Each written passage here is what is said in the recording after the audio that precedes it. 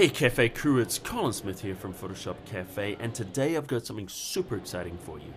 If you work with videos, if you ever wished that you had the skills or you had the budget to add those really cool motion graphics that you see for titles and lower thirds and different things like that, well, guess what? I got some good news for you. You can add those to your videos today for free.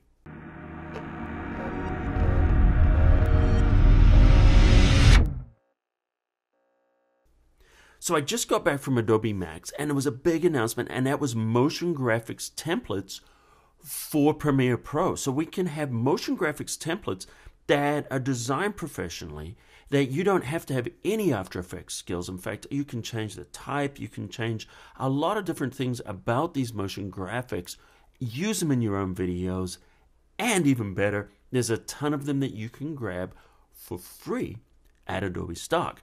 So let's have a look at it right now. So here we are at Adobe Stock right now, and I'm going to click on Templates. And then what we want to do is scroll down here and it says search motion graphics. So let's grab these motion graphics templates. And then we can see all we need to do is just roll our mouse over and we can see all kinds of different things. We've got these nice little type treatments. Look at that. Aren't they nice?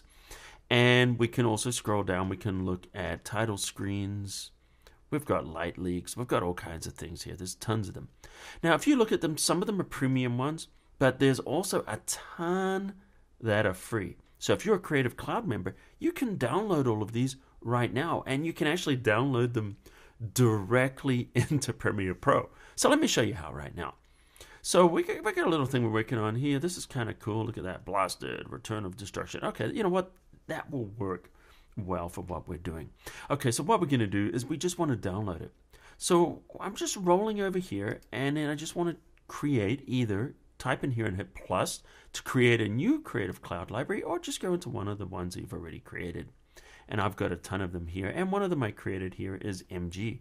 So once I click here, it's just going to save that directly to there. See, saved and now it shows license means I already have it. So, you know, if I wanted to grab other ones, I could just simply go over here and say, you know what, this looks kind of cool. Yeah, I like that. Why don't I grab it and I get it for free? Just like that. Okay, so why don't we go to Premiere Pro? And here we are in Premiere, and I'm actually working on a little vlog video that I'm doing from Adobe Max. So let's just play this little video. Here's a little section I've made for transition here between a couple of videos. So what I want to do is I'd love to have a nice title screen here and I'd love to have a lower third graphic on there without having to take the time to design it myself. So all we need to do is go to our libraries here and if you can't find it just click in there, choose library, there's a Creative Cloud library and here's all the assets that we downloaded. And notice all your libraries are available. That's the MG folder. So why don't we start with this? I'm going to create this on the timeline, I'm going to add it here. And what I want to do is I'm just going to hold down the control key. And notice those arrows? What that'll do is I'll push the rest of my project back and enable it to fit here. Okay, so we need some fonts here. It says, hey, we need these fonts. Um, and we don't want to substitute these fonts, so we want to grab these from Typekit. So we're going to click those two and click on sync, sync fonts. And then click OK. So right now, those fonts are actually downloading from Adobe Typekit and being added into my fonts so that this template is going to look right. I don't want it to say blasted the return of destruction. That's not what I want at all. That's not the title of my vlog. So here's what the problem has been in the past. But now, if we click on it and open the Essential Graphics panel, if you don't find that, look under Window, Essential Graphics, we can go in and look at all the stuff that we can change. All right, so we're going to start here and we're going to change this to my trip. And uh, we're going to say Adobe Max in Vegas.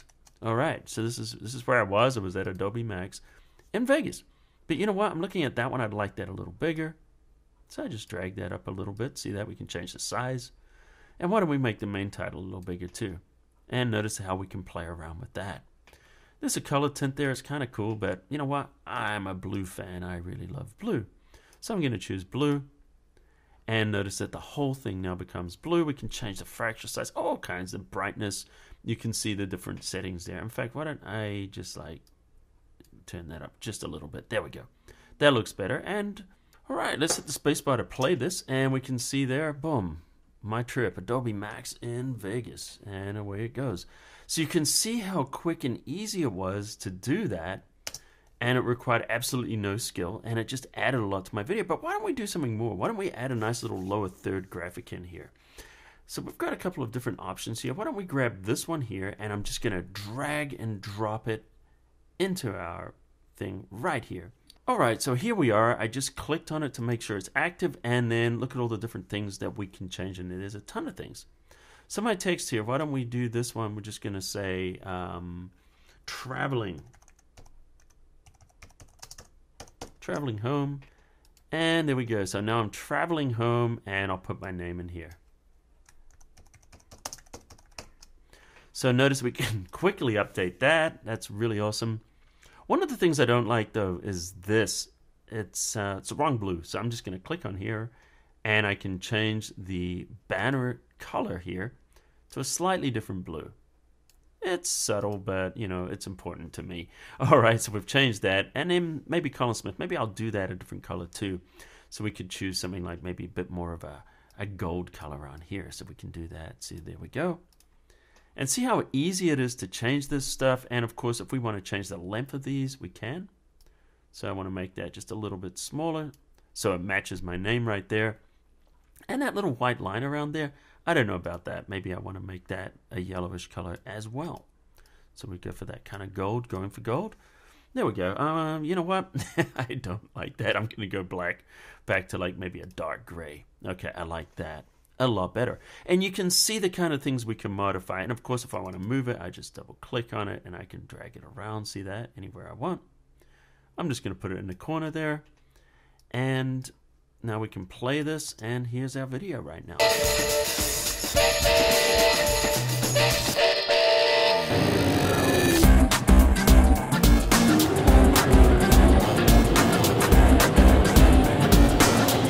And there we go. You can see all the things you can do there with motion graphics templates. I'm super excited about this, and I'm really going to be digging in and playing around with these motion graphics templates. By the way, if you're an After Effects guy or girl and you're really good at After Effects, then you could actually create some of these motion graphics templates yourself and upload them to Adobe Stock, make some extra revenue.